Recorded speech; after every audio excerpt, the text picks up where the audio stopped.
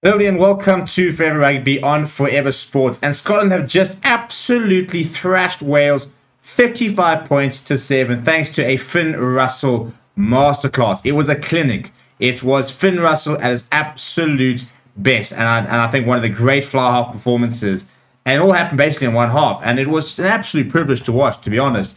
And Wales, that's back to back heavy defeats. They will not be happy. There'll be a bit of panic in that uh, camp, I, I, I think and, and probably rightfully so, to be honest, because what they're seeing, what we're seeing from Wales is a little bit worrying because I think that they have been really, really poor. Uh, but Scotland today were worth all their weight in gold. And Finn Russell, what what a performance. Before you sort of break the game down, please do smash like on the video. Please do subscribe to the channel as well. It all started very early with Finn Russell getting things going in the eighth minute with a penalty um, before it, and uh, following that up in seven minutes later to go 6 0 up uh, in the 15th minute. Dan Biggar then missed a penalty in the 24th minute. Uh, Scotland started well, I thought. I thought that they were, they were quite sharp, they, they had intensity, and Wales were a bit slow to get going.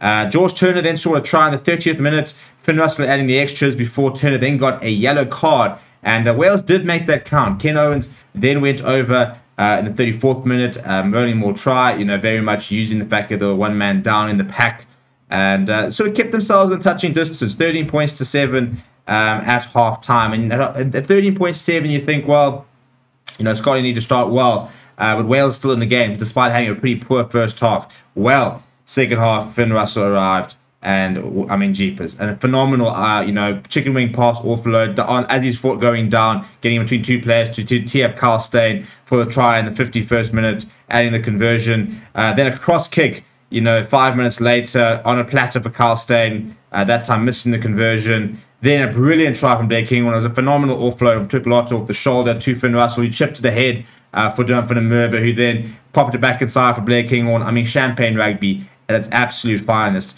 And then just finally, just to wrap things up, uh, you know, right towards the end, Finn Russell just delaying a pass over the top to Matt Fagerson. Three try assists from Finn Russell, as well as playing a major part in the fourth in or in in, in, in another try to make it four really try you know um, contributions. Uh, did miss a couple of kicks, but I mean 35.7. What an absolute drubbing. When we look at some of the stats, in fact, the interesting thing is possession is 50-50. However, territory, Wales actually had more. And Wales, I think, you know, visited the, the 22 of Scotland, I think about almost three times as many times, um, but didn't get the points. Uh, five tries to one, 435 meters to 312. 28 defenders beaten by Scotland to 9, 10 clean breaks to 1. Um, Wales had more gain line carries and more passes and more offloads. Same amount of turnovers, one um, kicks from hand 29 25 in favour of Scotland. Uh, but this is for me the big sort of thing. Scotland were asked to make 174 tackles, they missed just nine. That's a 95% tackle success rate. In comparison, Wales were asked to um, to to make just 146 tackles, missing 28, 81%. Uh, goal success rate 57% for, for, for Scotland. So Finn Russell missing three kicks. Um, Dan Biggar missing one, 50% for Wales. Ruck success was was pretty um, decent. A couple of rucks where, where, where Wales were, I mean, Scotland were a bit slow. But uh, scrums, in fact, for Scotland were a bit of a problem. They only won two out of five. That's 40%. They also lost one line, 19 out of 20. Wales losing three line outs. There was a big problem at the line, especially beginning of the game uh, for Wales. Wales conceding 14 penalties to Scotland's 11. Wales gained two yellow cards. One was right at the end, so doesn't really count to one. Uh, and uh, yeah, I mean, if you look at some of the, the, the, individual performances, I thought Matt Fagerson once again showed his quality. Um, he made 20 tackles, missing just one, 12 carries, 26 meters gained, three defenders beaten, and a try. Uh, I thought that Jamie Ritchie looked really hard as well. Um, you know, Grant Gilchrist, uh, Richie Gray, uh, Duhan van der Merwe, you know, full of range, especially towards the end of the game. He beat eight defenders, three clean breaks, a try assist, uh, 102 meters gained, three tackles made.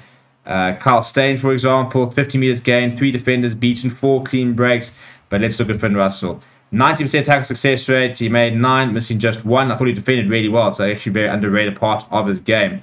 Uh, three try assists, one defenders beaten, 25 passes, 28 meters gained, uh, 10 points to his name. What an absolutely iconic performance. Uh, for Wales, I thought uh, Rio Dyer looked pretty lively with the ball in hand. Uh, didn't get too much, uh, you know, opportunities. Christ Tshiunza worked really hard, eight tackles, six carries. Uh, I do think that the that the the new sort of look new, young new from Wales were a little bit um, outclassed. You know, I think there was a difference. There's a gulf of quality. Tommy Reffell, I thought, played pretty well, defended very well. Uh, Jac Morgan didn't get enough ball in hand. You know, he's a very good ball carrier. I'd like to have seen him, you know, use that more. Uh, Adam Beard was was characteristically quite busy more in the second half. Uh, in the first half, I thought um, Daf Jenkins carried a couple of times, but yeah, not too many standout performances from Wales. I thought they were pretty ordinary. George North not really managing to get into the game as much as he'd like. Uh, Joe Hawkins as well, uh, not really influencing the game as much, and then they just didn't have enough off the bench to make a difference. Uh, let me know what you thought about the, the game down in the comments below. Please do smash like on the video and subscribe to the channel as well. Thank you very much for watching. My name is Stephen. I'll chat to you soon.